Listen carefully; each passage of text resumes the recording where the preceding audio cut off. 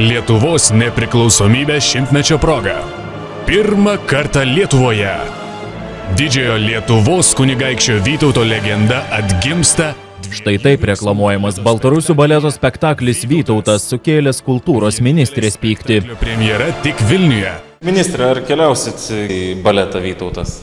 Vienareikšmiškai ne. Manau, reikia pakviesti, kad pamatytų savom akim patį spektaklį. Tiesiog yra, mano supratimu, provokacija.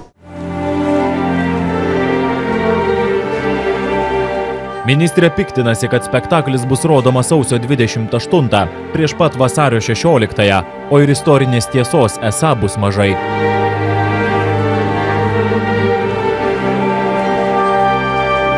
Pagal tai, ką aš esu skaičiusi re- recenzijose ir spektaklio aprašymas, taip, ten istorija vienareikšmiškai iškreipama. Bet mes gyvename demokratinėje laisvoje valstybėje, tad e, tikrai e, visiems yra leidžiama organizuoti renginius, kokius e, jie pageidauja, tačiau mūsų pareiga yra atsirinkti, kas yra palaikas, yra grūdai. Interpretacija yra meilės daugiau istorija. Tiesiog e, istoriniai dalykai, faktai parinkti tai apie Jogailą, apie Kestutį, apie patį Vytautą, kad turėjo žmoną Oną. Iš principo visas, visas spektaklis sukasi vien tik apie meilės istoriją ir pasiaukojimą vienas kitam. Todėl tie istoriniai faktai yra už tą taip ir interpretuojami savaip meniniu lygiu.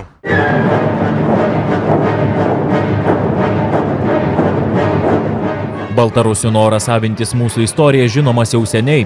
Ekspertai sako, kad jie taip ieško savos tapatybės, kuri būtų kitokia nei rusų. Kadangi to savo baltarusiško labai originalaus nėra daug, na, buvo atsigrįžta į LDK paveldą ir pasakyta, kad, na, kad visas tas paveldas yra lietuvų pavoktas iš Baltarusių. Čia irgi nieko naujo. Dėl to jie kūrė, na, įvairius filmus, stato paminklus e, ir, nu, ir tuos baletus e, susijusius su savo tematikos LDK paveldu. Ir, e, na, tą daro pakankamai nuosekliai. Kadangi Lietuvos didžioji kunigaikštystėje Vytautas valdė ir Baltarusiją, tai natūralu, kad Vytautas buvo ir jų valdovas. Tad šitoj vietoj, manau, nereikia ieškoti kažkokių interpretacijų gilesnių, o geriau pasidžiaugti puikiu spektakliu, kuris yra atvežamas į Vilnių.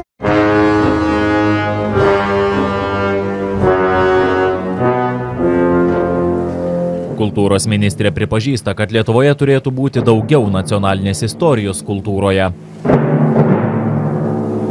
Tai iš ties reikia ir didesnio dėmesio, ir didesnio finansavimo. Tai e, mano, mano supratimu tai yra tiesiog būtina šiandien kurti savo, savo nacionalinius e, produktus, kurie iš tikrųjų atskleistų tą tikrąją istoriją ir iš tikrųjų ugdytų mūsų pilietiškumą ir tokį kritinį požiūrį į tai, kas vyksta na, aplink mus, e, mūsų kaimynų suku- sukurtuose, reiškia, įvaizdžiuose.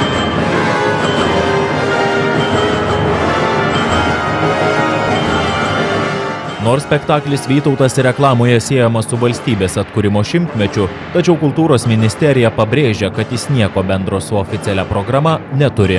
Reporteris Mindaugas Vasiliauskas, Vilnius.